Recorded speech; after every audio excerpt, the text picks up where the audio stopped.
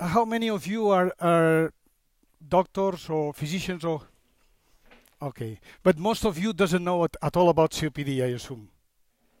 Okay.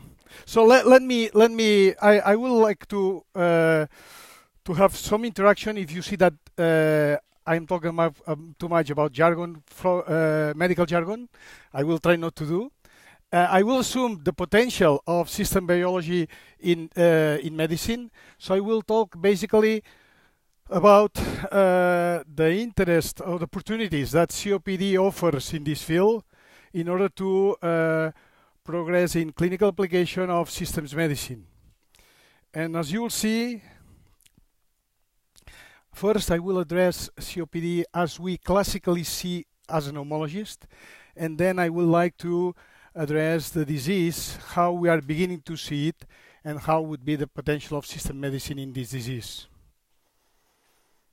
Basically, uh, I would say that historically COPD was, uh, that stands for chronic obstructive pulmonary disease, was a disease neglected up to the end of the 90s when there is a famous study by uh, Lopez and Murray that analyzed the, pro the projection of different diseases for the early years of uh, the, the, 21st century. And at the time, COPD uh, was the sixth, the sixth uh, in order with a very bad, let's say, uh, history in terms of uh, impact on emergency rooms and in, in survival, and was predicted that would evolve uh, uh, to, in 2020 around fourth or third cause of disease of uh, mortality and this was somehow uh, supported by a, recent uh, review of this literature uh, published in the New England in 2013. So the message is that it's a disease that has a high impact, high clinical impact, and um, the prevalence is around 9% of the adult population, so the population above 45 years old. So we're talking about a problem that uh, has clinical importance and presents some basic problems non-solved. That we'll try to summarize a bit, but first let me introduce a few more information about the, the disease itself. Early in 2000, 2001 precisely, was incorporated one as one of the major diseases by the chronic care programs of the WHO, together with cardiovascular diseases, diabetes, cancer, uh, and some inflammatory diseases. And COPD essentially is a preventable disease that uh, the basic alteration is inflammation in the lung cause in situations where there is uh, genetic susceptibility and is inhalation of irritants. And in the Western world, essentially that is due to tobacco smoking. And in some areas of the world, like China or the, the area of the Andes, is because smoke, basically in women that cook inside houses with poor conditions. And this is basically the, the, the epidemiology of the disease. What are the uh, basic alterations? The basic alterations are in the in the bronchi. Initial the initial lesions are in the peripheral area of the lung, what we call silent area of the lung. So can be a lot of lesions without clinical manifestations, and may have either, but in general has a very slow progress in general, but there are also destruction in some patients, destruction of the lung and alterations of the exchange of gases, fundamentally oxygen, uh, uptake of oxygen to the blood. Is what we call emphysema, destruction of lung parenchyma. But also uh, there, has, there are a lot of uh, diffuse alterations in the vascular side of the lung. Still now, uh, pneumologists essentially see COPD as a pulmonary disease. As a pulmonary disease generated by inflammation due to irritants, inhaled irritants. And this is a very brief summary of the classical view of the disease. So we see progression over time. The disease always begins after 40 years old.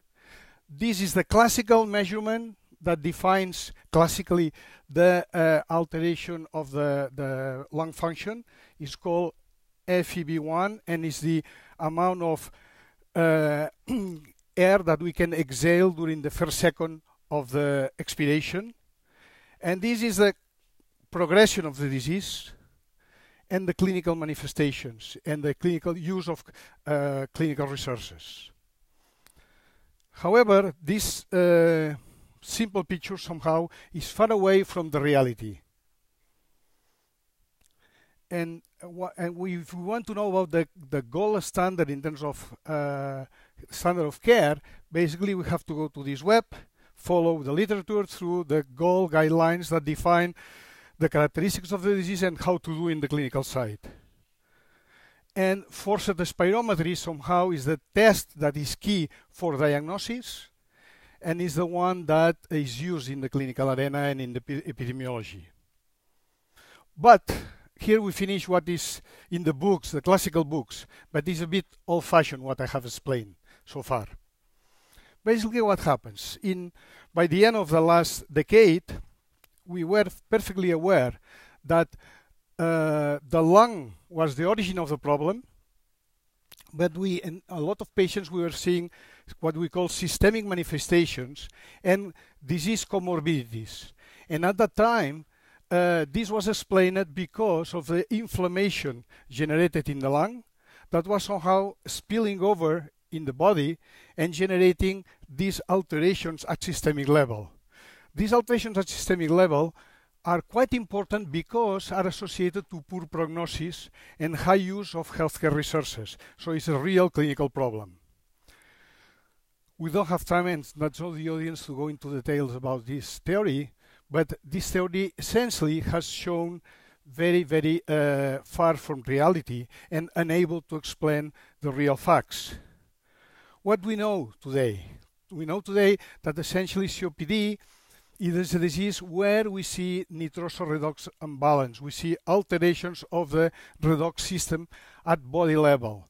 And this explains why, a difference from asthma or another inflammatory disease, uh, COPD is quite resistant to corticosteroids, while other inflammatory diseases ha, have a good response to corticosteroids. However, this view is still not is well supported by the literature, but it still has not been adopted by the uh, pneumologists, uh, in, and there is no, let's say, therapeutic approaches for this vision of the disease.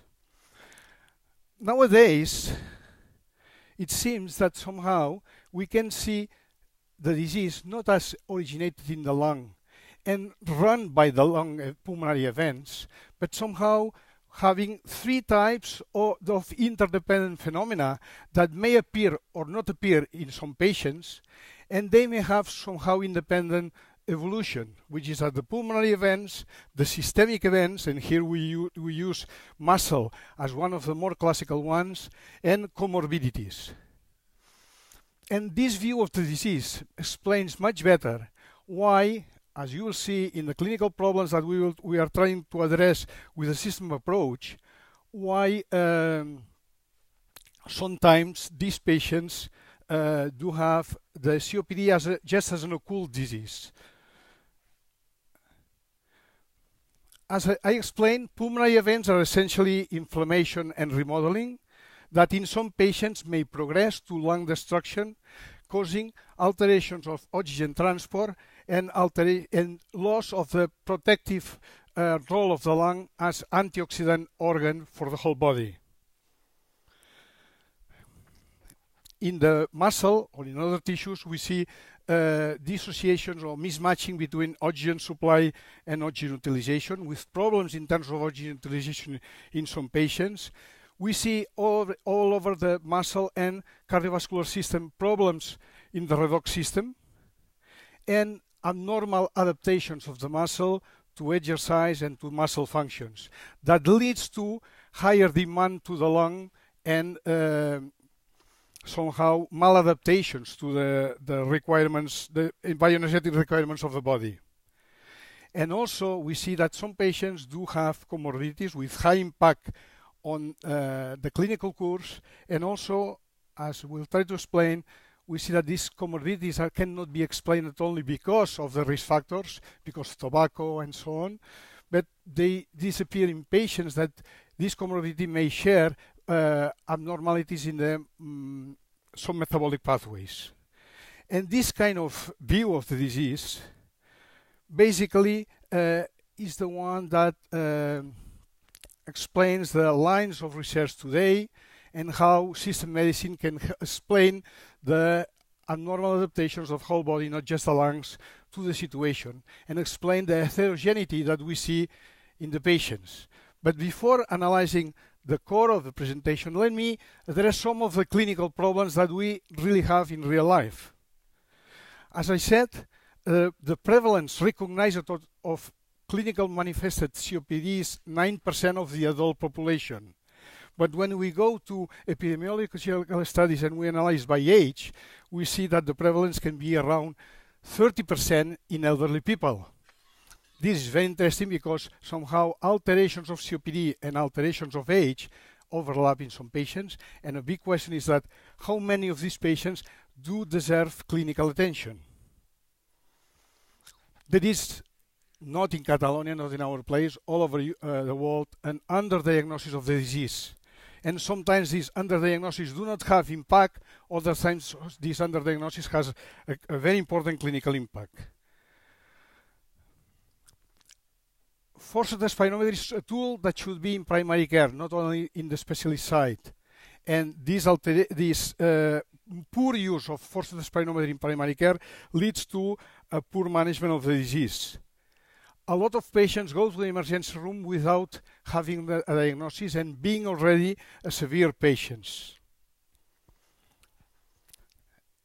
And often, very often, there is a very important problem in, in uh, proper ascertainment of the diagnosis. There is a lot of misdiagnosis because it's done through um, just clinical grounds without forced spirometry. So there are a lot of issues that may deserve action and may improve the clinical outcomes of these patients. I would like just to finish here the, the overall classical view and a bit the, the presentation of the problems that we have with the disease to go into the problems that we think can be addressed both in the biological side and also in the clinical side and at health system level uh, with a system medicine approach. Is there any particular question that you would like to clarify from this part of the, the presentation? They go ahead.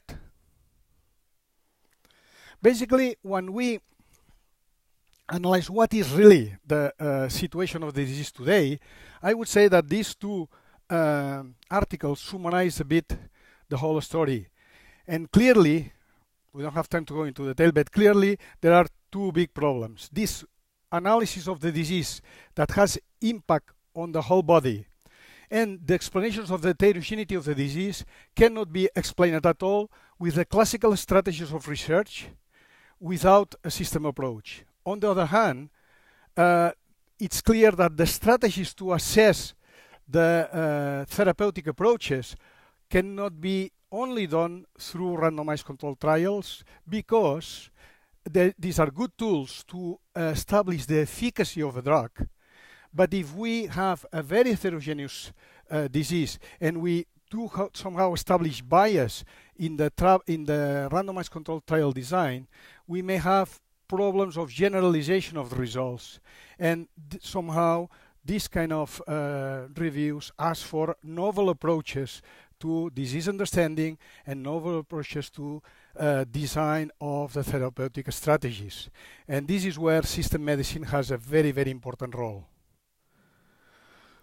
So basically, uh, the problem, the overall problem of the disease is not very different from other chronic diseases. And I think it's interesting to take COPD not just as COPD as itself, but somehow as a model of all chronic diseases.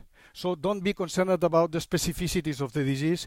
And what I will try to explain from now on is somehow uh, strategies that are valid to address any chronic condition or a very important issue, which is comorbidity, the coexistence of different chronic conditions and the clustering of these chronic conditions in some patients. How our specialty, how respiratory diseases has addressed this problem classically through the concept of COPD phenotypes. This was somehow uh, presented around 2010, the strategies to, I'm talking about our own field, the strategies to address COPD analyzing phenotypes, and it has shown some problems that I would like to address in a few minutes and then to uh, present somehow our view on how to overcome these problems. So now, and this will be somehow the structure of what will come in the next few minutes, is to address the potential and but the big problems that we have addressing COPD phenotypes in the classical way. Then uh, the need for new strategies and what are our proposal in this kind of new strategies.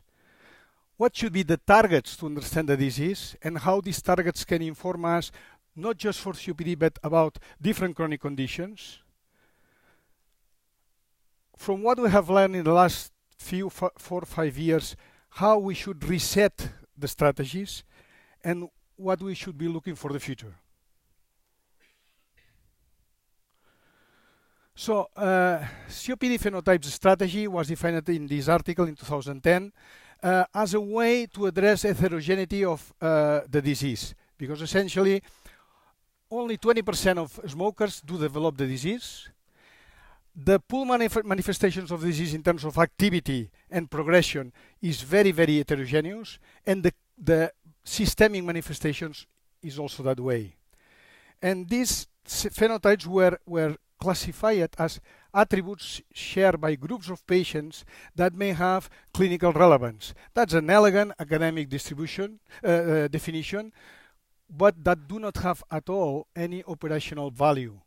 So do not help in order to explain what should be addressed this kind of problem. That's why I think the, the studies about phenotyping COPD have generated more problems than really solutions in the last five years. How we should address this main problem, which is again proper of the COPD but also common to other chronic conditions. In the clinical side, know that is not like this, but uh, in the clinical side we still associate a lot uh, phenotypes with genetic problems or genetic variants. But we know when we take into account all the, the studies in the last 10 years that the GWAS studies have not provided a lot, of, a lot of explanation on the variability of the patients and a lot of information on the, the pathways that may explain this heterogeneity. So somehow, uh, although they have pro pro uh, provided interesting information, this strategy doesn't seem to be valid by itself to explain heterogeneity. Other concepts, like the concept of exposome, seems much more interesting uh, to address this issue, at least conceptually. If we analyze the exposome in a very broad way, so all the internal biological interactions and also the interactions of the body with the environment that change over time and a given interaction may have very different impact on depending upon the the period of, the, of the lifetime that occurs. So it's not the same to have an infection when you are neonate or when you have are 20 years old or have the impact of tobacco at 20 years old or at 45 years old. That vision that implies a lot of interactions between the different biological and non-biological layers seems to be perhaps the, the, the right way to address the problem and here, clearly, systems medicine has a role. But how we make this operational, how we make this dream real, that's far away from uh, what we have today. But somehow, if we put together this concept with how is evolving healthcare, then we'll see that somehow these kind of interactions can be grouped in three big areas. One area would be informal care, the other would be the healthcare system, and the other one will be biomedical research. And if we group, at least conceptually that way, and we try to define strategies to uh, link these three levels, operational strategies, not just conceptual, we make, can make some progress and we can apply the methodology of system medicine to all these three levels and the interactions among them. And that's somehow what I will try to explain in the next few minutes. Does everybody agree on this, or there is any? That's very general, okay? So, we don't have time to go into details, but essentially for those people that are interested in the field or would like to go into the technical aspects, I would like to uh, address these two publications that has been prepared in conjunction with Karolinska. Basically, David got a, a very big role in both. And there, you will not see the final message, but you will see, I think, two or three important issues. One is the strategy to address the whole topic. This is a monograph of 12 chapters, and this is just one chapter that synthesizes a bit everything. But also, what is very important, you will see there the, the identification of the bottlenecks that prevents further progress today, and you will be useful also to identify the priorities for future work. Okay, so the work done, done in this area, we think that is important to support what I will keep saying. And essentially, what would be the strategies for the future? What are the strategies that we are already setting in our place and it's being done at European level also? So first to take into account what are the driving forces and how we should accommodate our strategies to these driving forces. And essentially we have three major issues. One major issue is the challenge of chronic conditions. First, that is a societal need, is a, uh, should not be addressed with a disease-oriented approach, but with a, through a patient-oriented approach, as I will explain. But is a one big challenge that should be addressed. The second one is the generation of healthcare value, and this has a lot to do with uh, being uh, generating strategies both diagnostic and therapeutic, that are efficient. And this can be achieved essentially increasing uh, health outcomes by transfer and, and containing cost by transferring service complexity to the appropriate level of care. And there is a lot of room to do improvement in this area. And finally, uh, and this is very, very important, as you will see in a minute for COPD, is to have a different understanding of chronic diseases through not the manifestations, but through the mechanisms that underlying these chronic diseases. And you'll see in a minute what are these problems uh, mm, when we address COPD. The interaction and the, the, the establishment of strategies taking into account these driving forces, we think is that somehow the key for the success. And how we will address this? Basically, uh, analyzing uh, information, heterogeneous information that's coming from different areas in order to be able to do proper health risk assessment and prediction. Risk assessment is a key issue, a key non-solved issue that is looking essentially for uh, early diagnosis and cost-effective interventions should be the basis for this. When we talk about personalization of care, personalized medicine is, is a goal, but it's a goal not for tomorrow. It's a goal for next few years. I think, we think, that solving strategies for risk assessment and st proper stratification is the step needed, the immediate step that can be already solved now in order to get a real personalized medicine in the future. If we don't solve this, personalized medicine is it's always will find example, nice examples in cancer, in cystic fibrosis and so on, but will be a dream uh, taking, taking it as an overall issue. So that's that's a key element. Uh, so uh, what what we need? So what is my will be my message? Besides, I will try to put forward some technical solutions. Okay, but what will be my message? The message is that I agree with you that if we don't play patients, professionals, policymakers together and scientists, this will not work. So will not be viable. So what we'll need somehow? We'll need a more active patient providing information from informal care. We'll need better connection among providers, among people that delivers care. And this somehow should lead to what we call, and is very difficult to deploy, integrated care for chronic diseases. But I will try to show that it works. But first, we are the, under the topic of disease phenotypes. What is this applied to, to COPD. We have this problem. that COPD itself has a very bad and poor definition. COPD is based on clinical, uh, history of tobacco smoking or inhalation of irritants, and forced spirometry that generates obstruction.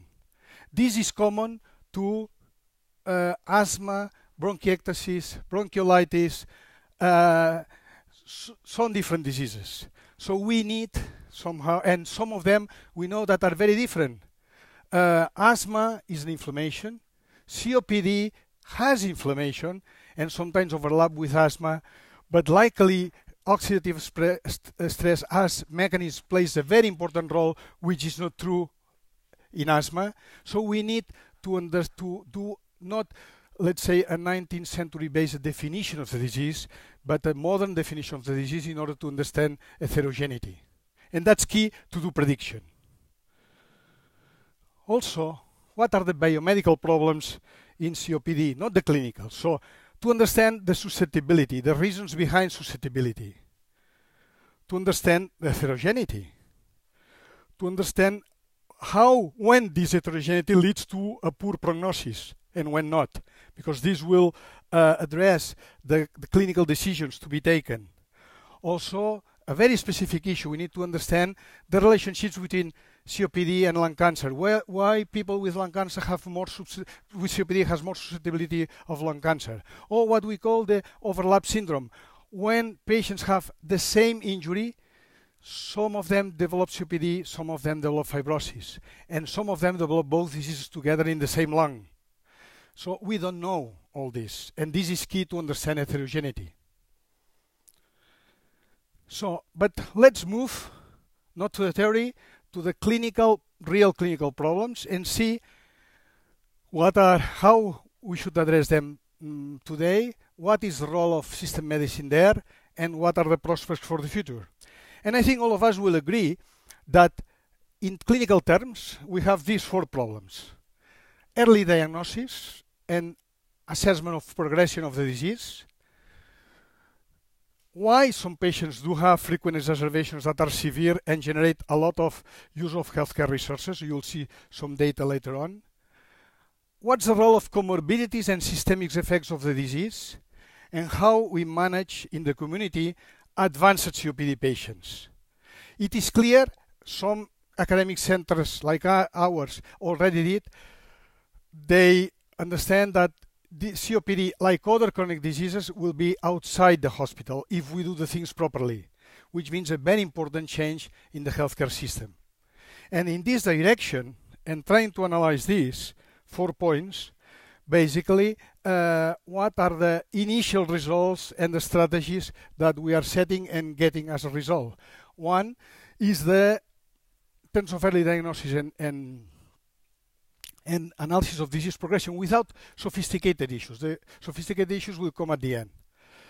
Is to bring forced spirometry with good quality to make decisions in primary care. And to do this, we need to ensure the quality in primary care, to have accessibility of the testing across levels of care, so from different providers, and also to be able to perform in the healthcare system the analysis of trends so when the patient has the first contact in, with the healthcare system, what is his FVC and FEV1, his spirometry, and how it evolves over time, both in terms of increase, decline, or variability, or effects of interventions. This seems impossible nowadays, but as you will see in a minute, we will have a, we have a program there where we are will be able next year to solve all these issues. Basically, applying information technologies and applying modeling. Another very important area, exacerbations. When we, you go to the academic approach to the problem, essentially people stops here, analyzes the triggers, the characteristics of the disease, and the pharmacological approach. That's it. And when you go into deployment of integrated care, you see that all these factors think doesn't make sense here that we go in detail, play a major role. And some of the frequent exacerbators are perfectly preventable and if we detect them in a proper way. And we have shown this already in pilot studies very well controlled and also in uh, deploying at regional level uh, integrated care. And here you have some data from our place from mm, 2006 up to now almost, where you see the a very important issue, which is the readmissions before after discharge, early readmissions. The average in Europe is 30%, 25, 30%. Our region, the red columns, has around 16%. Our hospital, the yellow one, is a bit lower, and the integrated care program is substantially lower. So we can prevent this with a proper approach. That includes somehow the convergence between integrated care and systems medicine. And these are real data and not, are not data from one study, are data from the system. Comorbidities. That's a, a, a, very, very important issue. What is the hypothesis that we set with David and, and the team here? Is that uh, the systemic effects are related with abnormal bioenergetics and abnormal interactions between key metabolic pathways, essentially bioenergetics, oxidative stress, inflammation and remodeling is abnormal in these patients at muscle level.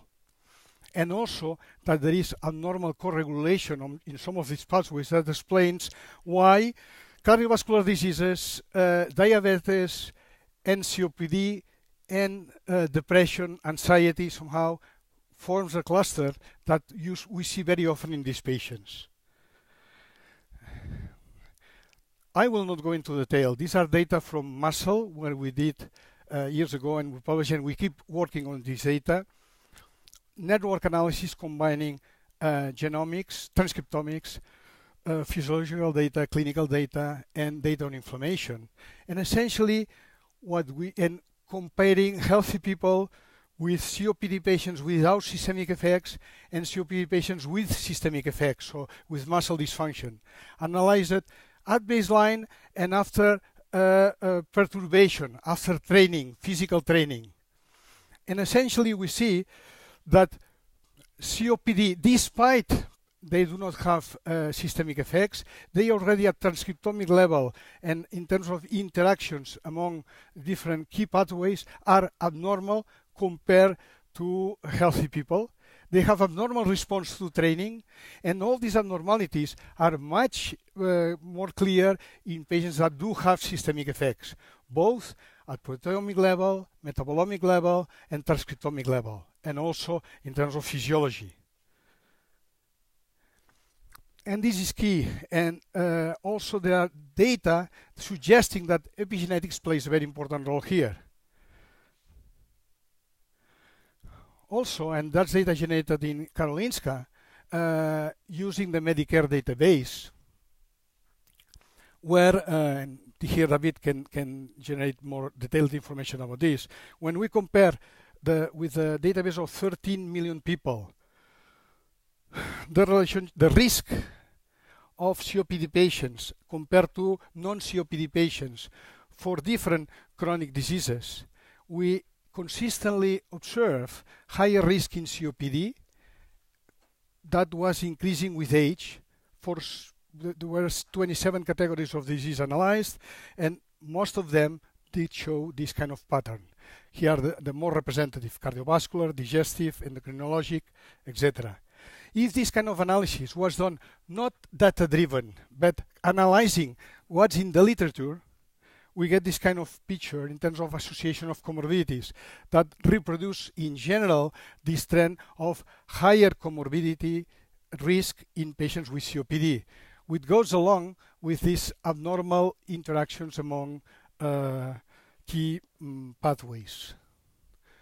The summary is that this, so the fact, despite the disease may be an occult disease and not showing clinical manifestations by itself, clearly COPD may favor other comorbidities and, may, and is very well known that when you have a cardiac patient with or without COPD, despite COPD may not be uh, severe COPD, somehow uh, generates a deleterious uh, clinical outcome if COPD is there regarding the cardiac disease. So has impact on the, the comorbidity. All this area uh, somehow could be this could be a, just an academic exercise, but by applying uh, complementary uh, orientations, and I, by the end of my talk, I will show uh, a practical example of how to proceed, a practical proposal. But the analysis of the disease trajectories of large database may allow us somehow define the likelihood of other comorbidities when one given disease is present. By analyzing the disease models associated with this kind of association, despite the, uh, that we don't have complete information of these diseases, we may generate somehow uh, markers that tells us about the mechanism of association of these clusters. And we can analyze if these markers are associated with uh, biological variables, what we call clinical surrogates, that we are using in the clinical side, and somehow could be the basis for the establishment of new approaches in terms of prediction, of risk prediction, as I will explain later on.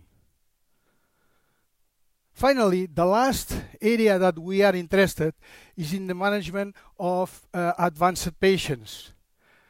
And I will not go into detail, but essentially I think we have the way also to have a very important input in this area. When we analyzed around 500 patients with long-term oxygen therapy, that somehow is a prototype of complex and frail patients with this condition, basically we found this kind of association that will also sound familiar to you, David, I assume. Uh, where we see that the variables that define complexity and frailty are clustered in three groups. Variables associated to symptoms, variables associated to dependency, and variables associated to comorbidity. And the variables associated to comorbidity are strongly associated to use past use of healthcare resources. And again, this raised the point that uh, comorbidity is a target issue in this group of patients.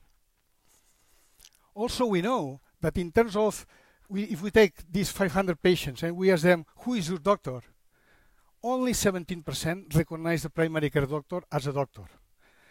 Uh, most of them do have four, five, six doctors, all specialized doctors that do not coordinate among them. Only 7% to have received some information about their own disease. So this is a clear example of how integrated care can improve all this area. So having this panorama of the four target areas and the somehow uh, potential hypotheses to improve these areas and preliminary results, what should be the, the steps that we should follow in the near future to make real somehow the future of personalized medicine. We think that we should keep on these four areas of action. And one very important area regarding early diagnosis is this strategy.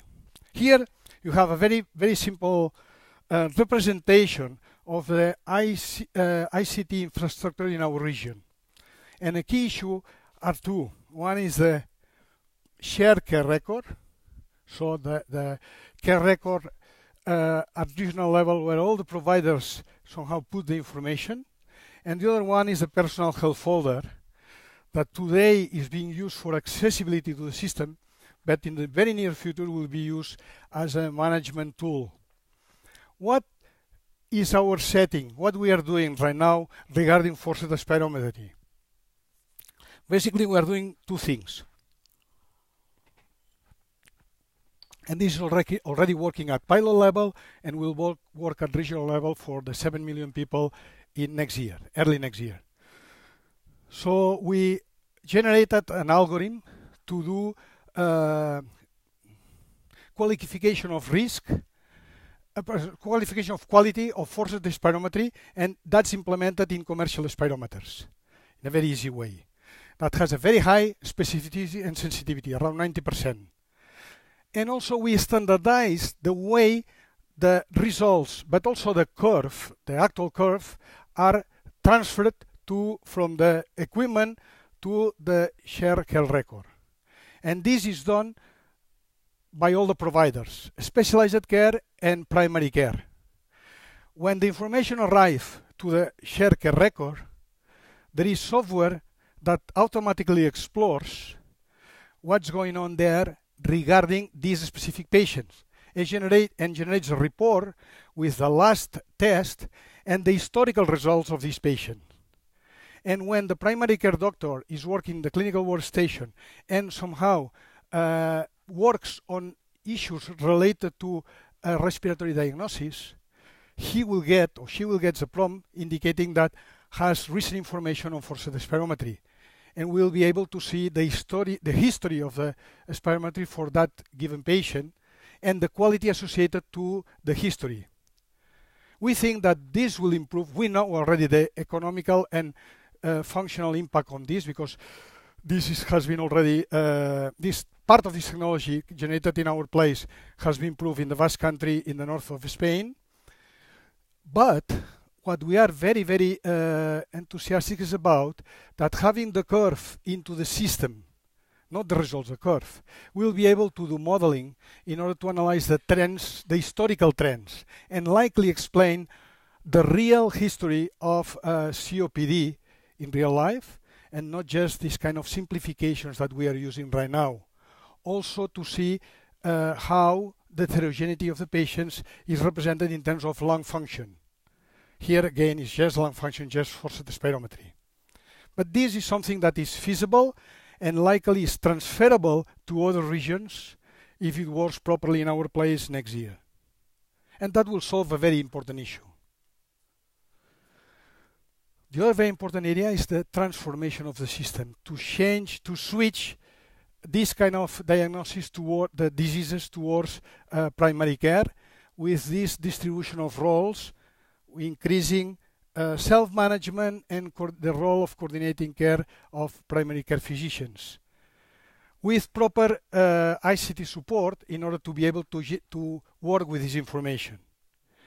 That's a long process, unsuccessful process in some places, but bit a bit we are improving in that area. And this somehow leads to a new ways to address comorbidities. If we know the mechanism and we know what we should modulate, likely, and we predict ahead of time, likely we could modulate the progress of the disease. These are the things that we, we believe should be done, and somehow are the things that I am not saying anything new. This is being supported by the big programs at European level, both the EIP AHA, the KIC, Horizon, and the RIS program at, at uh, regional level. I know that these are just programs, the reality is much harder, but goes in this direction. What should be, does everybody agree on this? Yeah. What should be the, the challenge that we should overcome in terms of, let's say, specific issues? And here we can discuss about the risk prediction somehow. So first, I think nowadays, despite things are not solved or are far to be solved, I think we have the direction and we can say that uh, uh, we are able to somehow uh, address some of the, these problems that are completely very difficult to understand and to solve through regular strategies, through a system medicine approach. And we can create, we are convinced, create a success story in this area also that's a, a step needed to uh, talk really about personalized medicine in the future. What are the key points? The key points likely should be to do novel ways, novel uh, uh, tools to do clinical decision support systems, basically addressed to primary care health care professionals, not to specialists. That should be the target. That address early diagnosis and disease progress. Here the program that I explained before also links pharmacy offices with self-management and with primary care with this program of forced spirometry to improve on patient risk assessment and stratification and analyze the impact of this on management and also to progress on the transfer of this disease to community-based management. And again, this kind of scheme that we talk in, in the initial part of the of the lecture and see I would like to analyze this to see if this seems operational or this is just a conceptual uh, scheme. And I think that's key to try to solve this. How we are trying to solve this? Basically with this concept, with the concept of what we call digital health framework.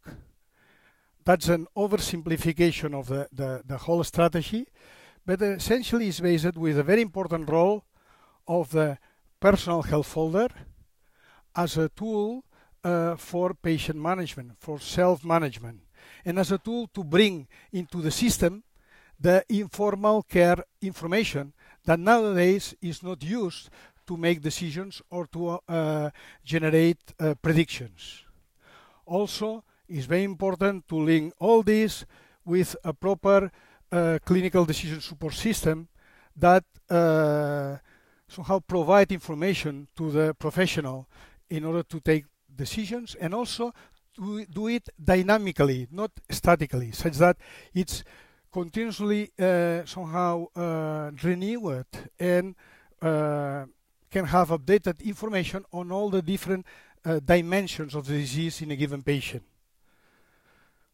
Aspects of data harmonization and knowledge management are key but also the interface between these tools and the professionals. Often these kind of tools are devoted only to clinical uh, translational research, are familiar for basic uh, scientists, but not for clinical people. That's another challenge.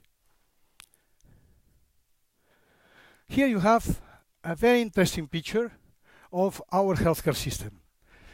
Using uh, a tool that's called GMA, which is uh, a predictive tool. That uh, it's uh, GMA stands for Adjusted Morbidity Groups. And here are some, that's the whole population and the distribution of the population by risk strata. And you see here that the tip of the pyramid, this 5%, somehow I'm saying anything new, but uh, represents about 35% of the health expenditure. All the integrated care is being focused in this area because this area where people think that because of the high expenditure can uh, generate more efficiencies. We have analyzed the potential of these kind of prediction tools at the European level and uh, the, the summary conclusions are a bit in the direction that you were saying.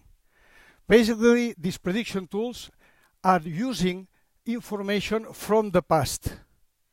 So have quite intrinsic problems in terms of st uh, strength of the prediction. In addition, a lot of these tools are not population based, are what is called population medicine oriented, so are oriented are generated and applied to specific groups of patients. What is highly valuable is to do it analyzing the whole population of a given area. Another additional problem that these tools have is that some of them, all these tools, did not begin from the scientific side, from the academic side, but began from the economic side, from cost analysis. And all of them are associated with licenses that somehow make the algorithms behind these prediction tools closed and all most of them are licenses that uh, prevents flexibility, prevents evolution of these tools and have a lot of gaps that cannot be solved and uh, precludes transferability from one region to the other.